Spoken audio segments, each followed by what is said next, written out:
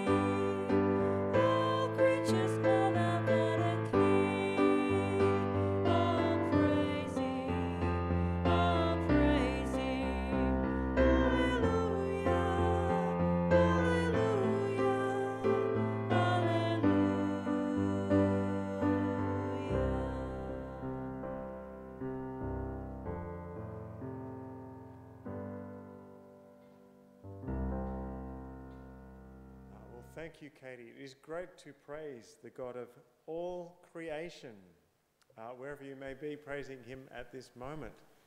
Uh, it's one of the joys as a staff team. We recently went uh, down on the Great Ocean Road on the way to uh, Lorne to have our staff retreat, and the creation was an amazing place to praise God as we saw lizards and ducks and the sea and the sun rise and uh, many, many things of God's creation that testify uh, to his handiwork, as we'll read later.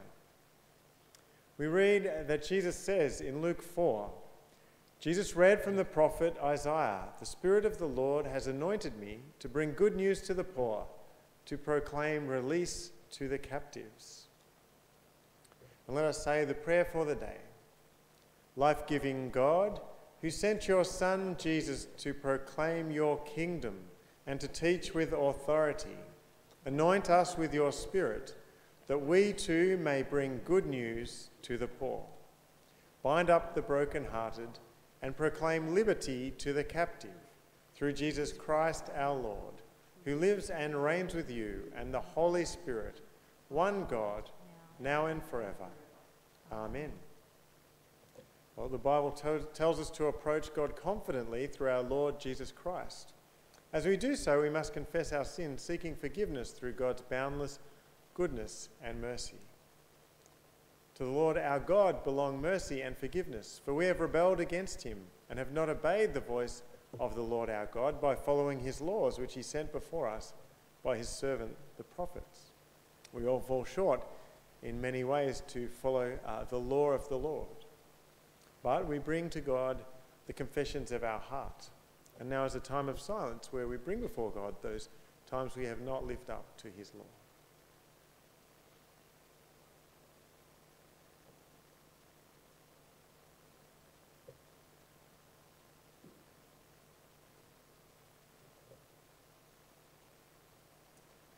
having given our, the confession of our heart to God, let us draw near to him with sincerity and confidence and pray together.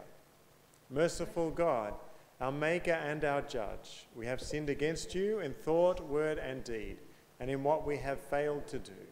We have not loved you with our whole heart. We have not loved our neighbours as ourselves. We repent and are sorry for all our sins. Father, forgive us Strengthen us to love and obey you in newness of life through Jesus Christ our Lord. Amen. Well, Almighty God, who has promised forgiveness to all who turn to him in faith, pardon you and set you free from all your sins, strengthen you in all goodness, and keep you in eternal life through Jesus Christ our Lord. Amen. Give thanks to the Lord, for he is good. His steadfast love endures forever. Grace and peace be with you, and also with you. And you may like to greet with peace uh, the people of your household, as we will in here those who are helping uh, take this service. Uh, now comes time uh, for our Bible readings. Our first Bible reading is from Kathy.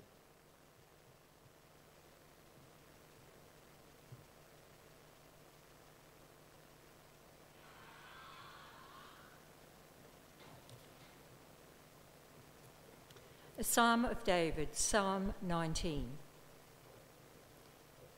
The heavens are telling the glory of God, and the firmament proclaims his handiwork. Day to day pours forth speech, and night to night declares knowledge.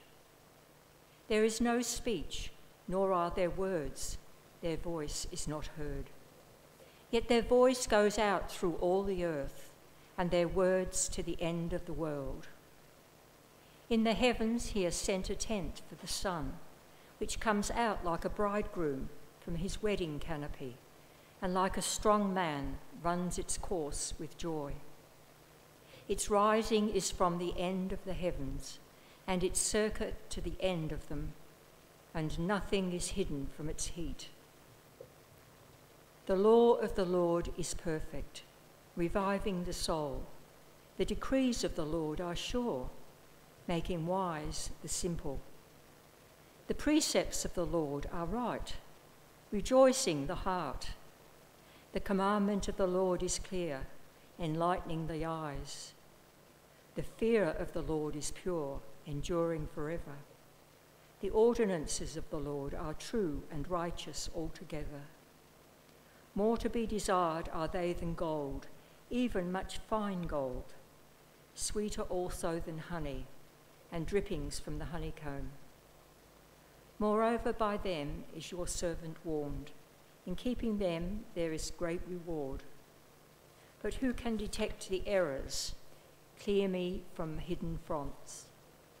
Keep back your servant also from the insolent. Do not let them have dominion over me. Then I shall be blameless and innocent of great transgression. Let the words of my mouth and the med- med- meditation of my heart be acceptable to you, O Lord, my rock and my redeemer. For the word of the Lord, thanks be to God.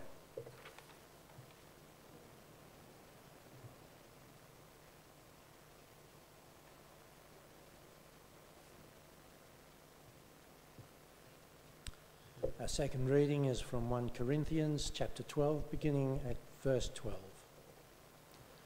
For just as the body is one and has many members, and all the members of the body, though many, are one body, so it is with Christ.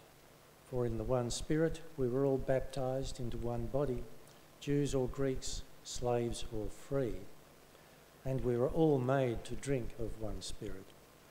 Indeed, the body does not consist of one member, but of many.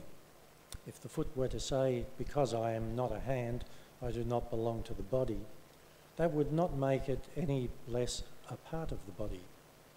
And if the ear were to say, Because I am not an eye, I do not belong to the body, that would not make it any less a part of the body. If the whole body were an eye, where would the hearing be? If the whole body were hearing, where would the sense of smell be? But as it is, God arranged the members in the body, each one of them as He chose. If all were a single member, where would the body be? As it is, there are many members, yet one body. The eye cannot say to the hand, I have no need of you, nor again the head to the feet, I have no need of you. On the contrary, the members of the body that seem to be weaker are indispensable. And those members of the body that we think less honourable we clothe with greater honour, and our less respectable members are treated with greater respect. Whereas our more respectable members do not need this. But God has so arranged the body, giving the greater honour to the inferior member, that there may be no dissension within the body, but the members may have the same care for one another. If one member suffers, all suffer together with it. If one member is honoured, all rejoice together with it. Now you are the body of Christ and individually members of it. And God has appointed in the church first apostles, second prophets, third teachers, then deeds of power, then gifts of healing, forms of assistance, forms of leadership, various kinds of tongues. Are all apostles? Are all prophets? Are all teachers? Do all work miracles? Do all possess gifts of healing? Do all speak in tongues? Do all interpret? But strive for the greater gifts, and I will show you a still more excellent way. For the word of the Lord. Thanks be to God.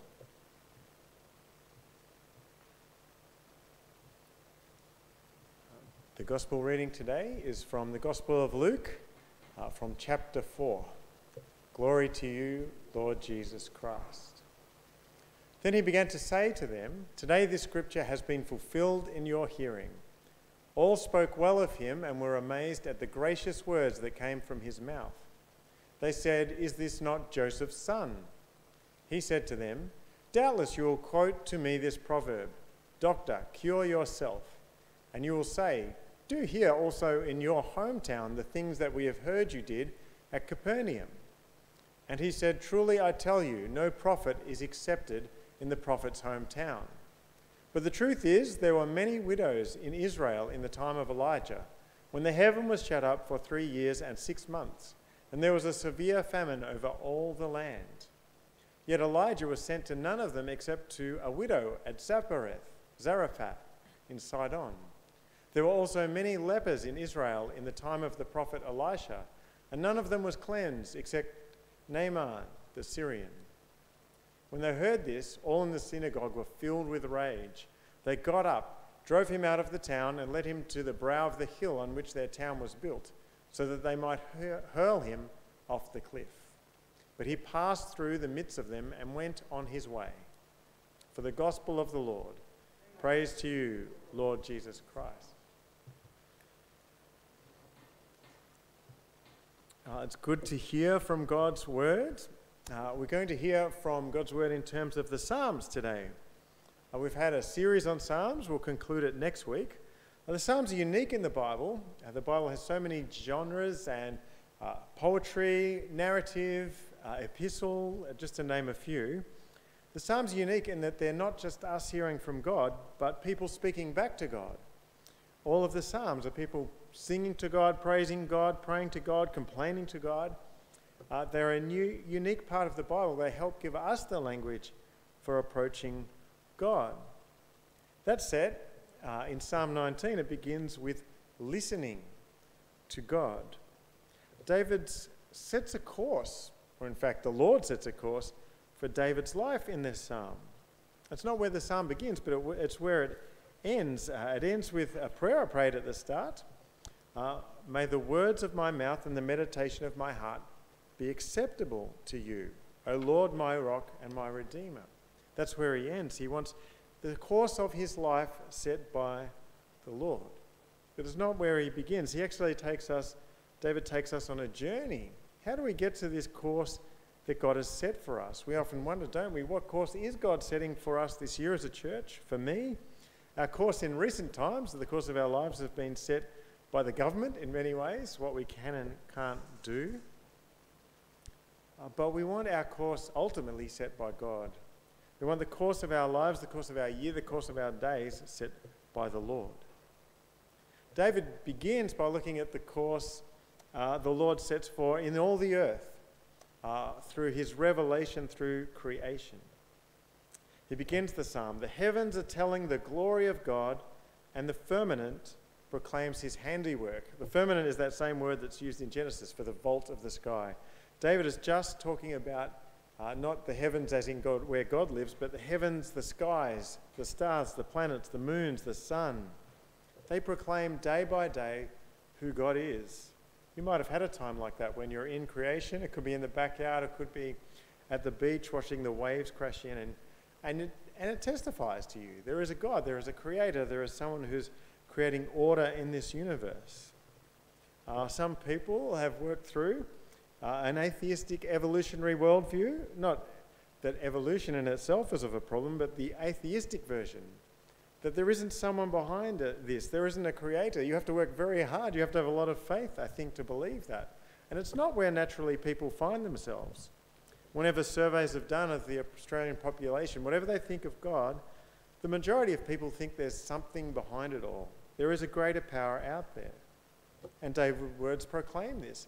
Anyone could be saying this. You didn't have to have the law of the, the Lord and the word of God to see God at work in creation. In fact, David says it's undeniable. Day to day, verse 2, pours forth speech, and night to night declares knowledge. God is always speaking through his creation. It sets a course for us. There is no speech, nor are there words. Their voice is not heard. Uh, the, the skies, we can't hear them, can we?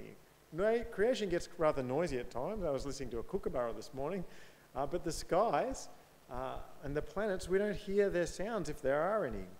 If you've ever seen Star Wars, when you hear the, uh, the laser beams going, there shouldn't be any laser beams out in space. No sound of them, I should say. It should be silent in those scenes, but it's not.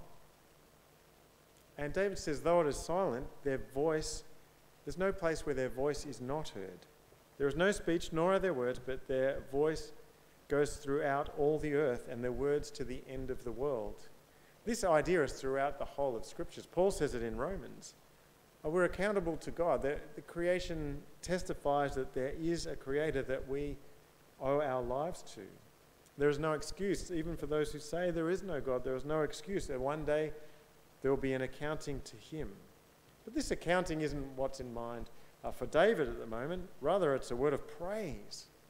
He's enjoying the creation, he's loving that God is speaking through it. In the heavens, God sets a tent for the sun, which comes out like a bridegroom from his wedding canopy, and like a strong man runs its course with joy. The sun testifies to who God is, and there's no escaping from its heat, as we're well aware at the moment, especially the tennis players I've noticed. Uh, this is important. The nations around Israel would worship the sun as a god. But David says, no, this is a created thing created by God. It points to who God is.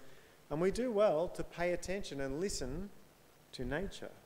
We, we have to have our own course set forth for us, first of all, by the seasons, by the days.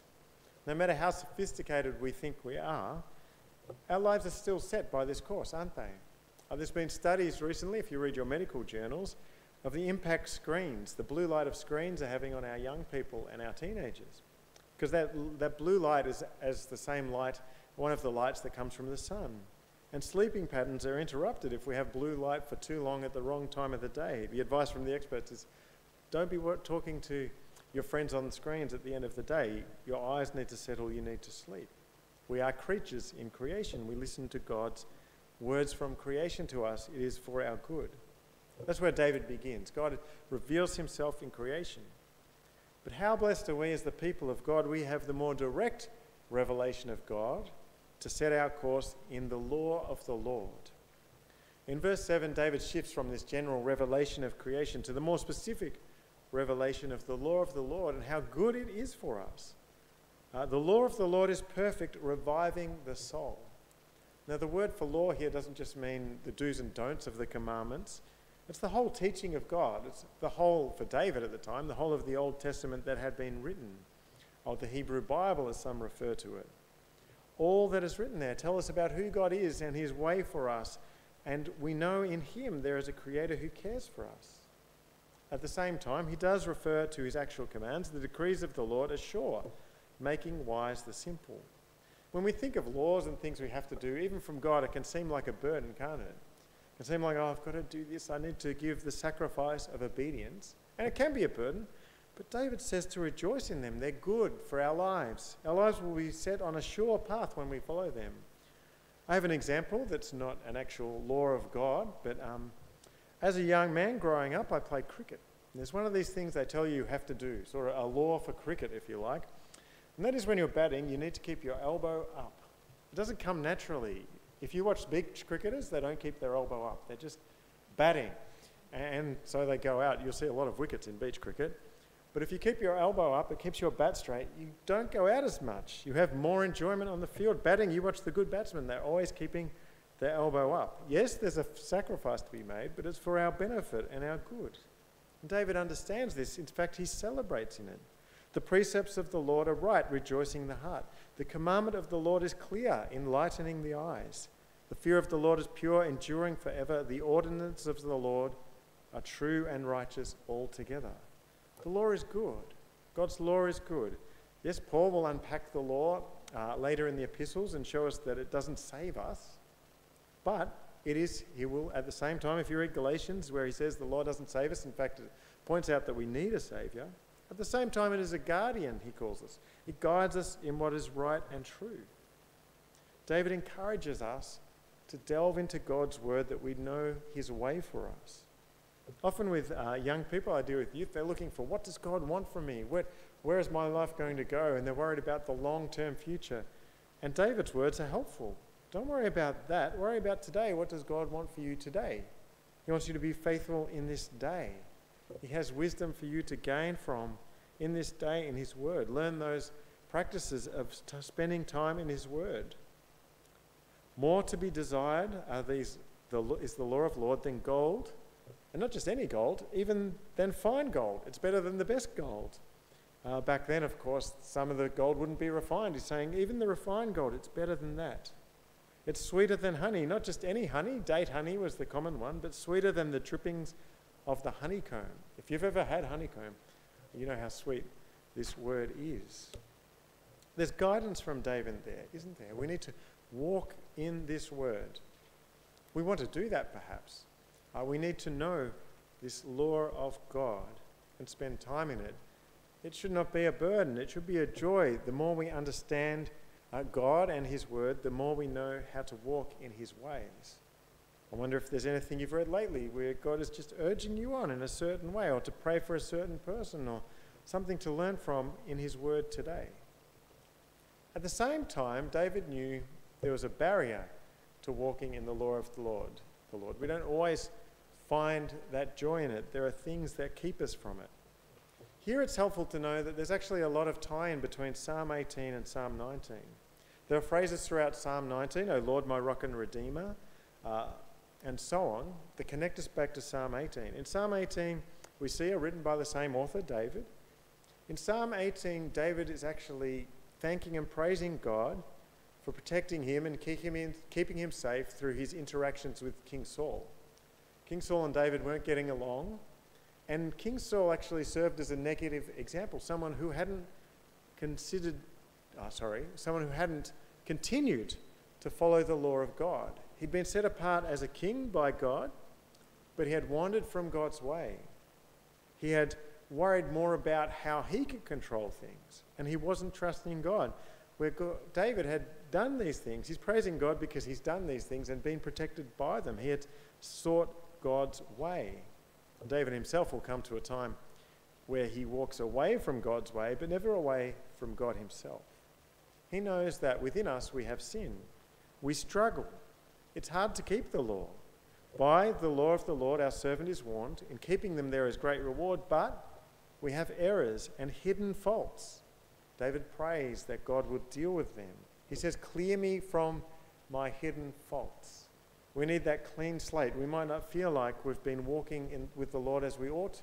We haven't been listening to His law. How do we start a new day clear of hidden faults? Well, David didn't know, but would, we would have the Son of God, the ultimate revelation of God, more so than the law. Uh, in Hebrews, we write, in the past, sorry, we read, in the past, God has spoken through his prophets. But in these days, he has spoken to us by his Son. We have an even clearer revelation of God, not just his words, but the living word in Jesus. And he clears us from our hidden faults by his life on the cross. Uh, the writer of Hebrews goes on to call us to draw near, uh, the, draw near to God that we can approach the throne of God because Jesus has cleared all that baggage of the past. It's no longer with us, it's on him on the cross. We can work, walk in the way of the Lord, even if we've been struggling to, even if we haven't been doing it lately. Today is a new day. We can start again. We are cleared from hidden faults. At the same time, we need to pray, don't you? Don't we? Keep back your servant from the insolent. Do not let them have dominion over me. David's kind of praying against peer pressure. Don't let me fall into the trap Saul fell. Don't let me be driven by what other people think or my own considerations for myself, my own willful sins. Keep this from me. Then I shall be blameless and innocent of great tr- transgression. David wants to simply be a godly man. And we should pray to be godly men and women. It is for a blessing for ourselves, it's a blessing for the people around us. And we know how to be that person by walking in the law of the Lord. I don't think that comes easily. As I said, I mentioned I, I work with young people. and I remember my own journey. We sometimes do wonder what does God want from me today? It takes time to know God's word, doesn't it? Actually takes that consistency of spending time in His Word day by day, and some, some days you don't get to do it. I found a Bible study really helpful once. There was a magazine that came out with a Bible study that was uh, 20 devotions for the month. So you could miss a day and you didn't feel bad. you kept walking. I, I found it so helpful. If you find that hard to do every day, well, maybe aim for four days a week. Start somewhere. Spend more time in the Word than you are at the moment. Don't, don't get into the trap of I have to do heaps every day. Rather, grow that habit of spending time in, in the Word. And I can tell you, the more you do it, the more you want to do it. And yes, there are times where you'll find it harder. What do you do then? Like David. You pray, you reflect on God's creation and His Word and give thanks for it and praise God that we have it. What a joy it is. I, I worry so much for so much of our world that they don't know God's Word. They think it's a restriction, whereas they are words of life that people are missing. So, having brought all this to God, his understanding of himself, his understanding of creation, his understanding of the Word, David finishes with one final prayer. It's a prayer that his words, like God's words, would be a blessing. Let the words of my mouth and the meditation of my heart be acceptable to you, O Lord, my rock and my redeemer. What a great prayer for us to pray today and this year. That all those things in our heart would be what God wants in our heart. We wouldn't be distracted by the worries and concerns of the world or, or the, um, the material things of the world, but by what God calls upon us to do each day. So let's pray that now. Lord, we praise you for your word. May we dwell in it. And Lord, may the meditation of our heart be upon your word and your will for us, that the words of our mouth would be acceptable to you, our rock and redeemer. In Jesus' name we pray. Amen. We're now going to sing and reflect again on God's creation. Uh, some of you may know this, for some of you, this may be a new song, but it's again about the indescribable majesty and glory of God that we see in creation. Uh, if you don't know it, maybe just listen to the words and reflect upon them. Indescribable.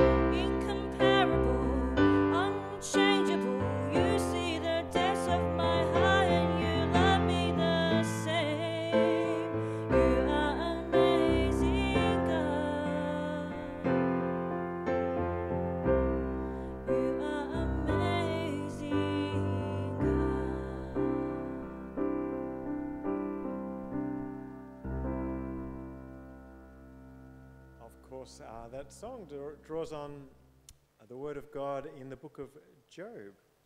And yet, as powerful and majestic as God is, He wants to hear from us, His people, as we pray to Him. And Lynn is going to lead us in the prayers today.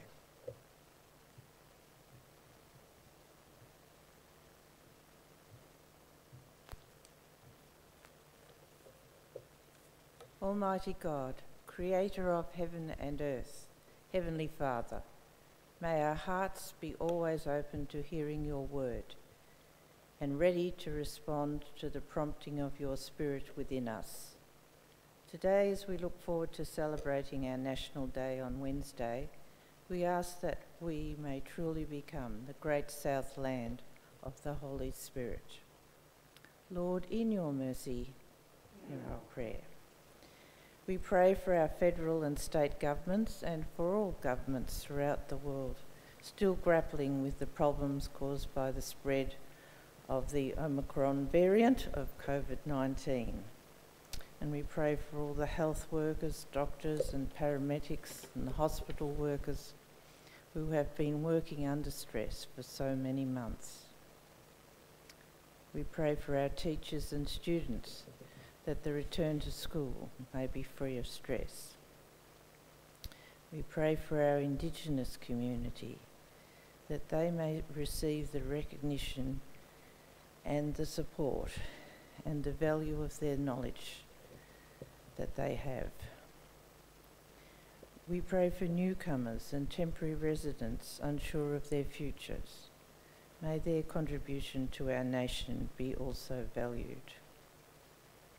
We pray for our neighbours in Tonga and the islands of the South Pacific recovering from the effects of the recent tsunami. Lord, in your mercy, we pray for your holy church, Lord, throughout the world, that despite our differences, all may be united in seeking to spread the good news of your redeeming love. We pray for the planning of World Day of Prayer, which is on March 4th this year.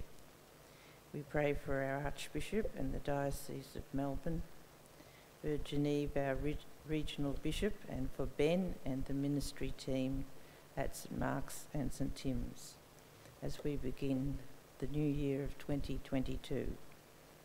Lord, in your mercy, we pray for all our parishioners, many of us who are still tentative about going out into the community in the current situation. We pray for the sick, for those whose surgery has been postponed, for the lonely and the frail in our community for the unemployed and struggling businesses, for the heartbroken, that they may find comfort. We continue to pray for Selena in her battle with cancer, and for Margaret Anderson and Ruth, sorry, June Reeves, for Jenny Lording and Jenny Heathcote, for Beryl and for Bernice also for Kerry and Carol and Caroline, for Rose, for Lincoln, and for Barry. Lord, in your mercy, we remember with love and gratitude the faithful members of our parish, now in your heavenly care, who passed away at this time of the year. There's Lynn Barnes and Val Venn, Edna Lannon, Jessie McConkey, Arch McKellar. Encourage us, Lord, with their example, so that we may run with perseverance the race that lies before us and share with them the fullness of joy in your eternal kingdom. Lord, in your mercy, hear our prayer. Accept our prayers, Lord, in the name of your beloved Son, Jesus Christ, our Lord.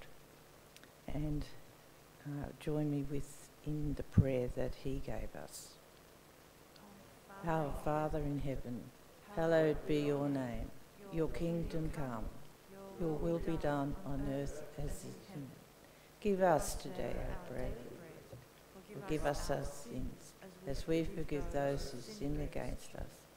Save us from the time of trial, and deliver us from evil. For the kingdom, the power, and the glory are yours, now and forever. Amen.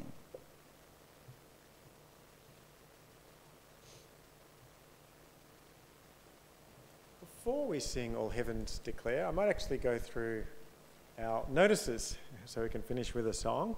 Uh, next week we can meet in person.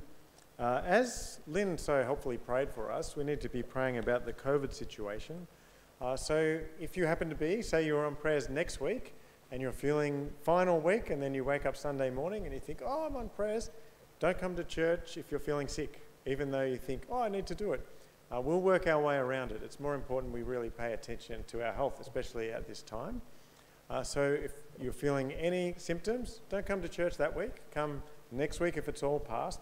Uh, I'll have updated the website as we speak, as we're recording. I've been away where there is no internet, so I haven't been able to update it recently, but on Sunday uh, it will be updated. Uh, this week we had Andy and Miff come on Tuesday, I think, no, Wednesday it was. Uh, uh, there, when you come next week, we'll have cards that you can find out how to pray for them if you want to support them.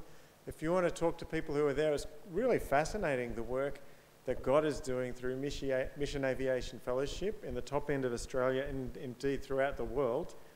And it's a great blessing that who would have thought, if you're a person out there who loves God but you also love planes, this is your thing to support. uh, it was fascinating. We're very thankful, and it was so great to put a face uh, to the names, as Andy and Miff shared, and little baby Nora was there too.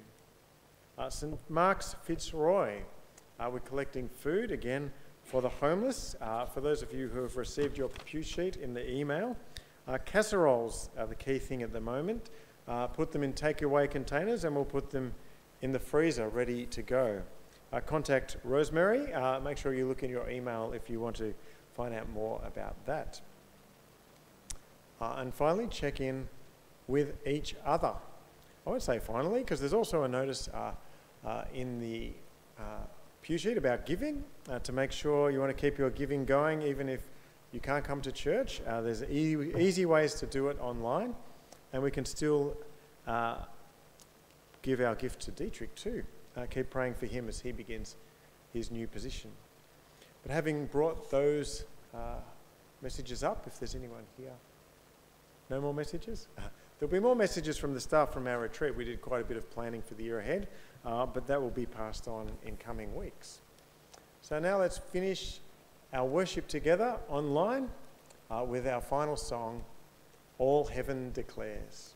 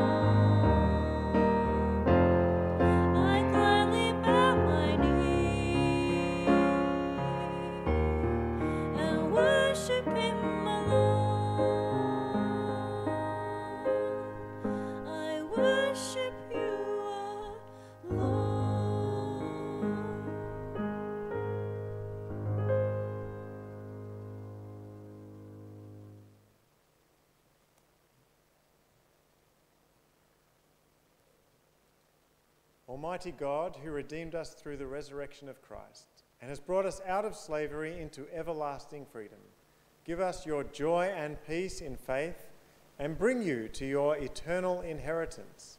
And the blessing of God Almighty, the Father, the Son, and the Holy Spirit be among you and remain with you always. Amen. Amen. And may the meditations of our heart and the words of our mouths be pleasing to the Lord. Let us go in peace to love and serve the Lord. In, the, name, of Christ. Amen. Amen.